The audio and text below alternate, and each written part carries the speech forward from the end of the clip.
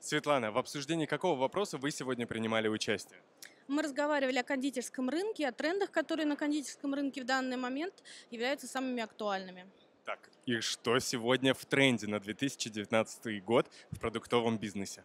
Ну, по мнению нашей компании, это ЗОЖ, это порционная упаковка, это рост э, СТМ э, торговых сетей и изменение их категорий. Это уже не только низкая ценовая сегмент, но и также э, более дорогая премиальная продукция.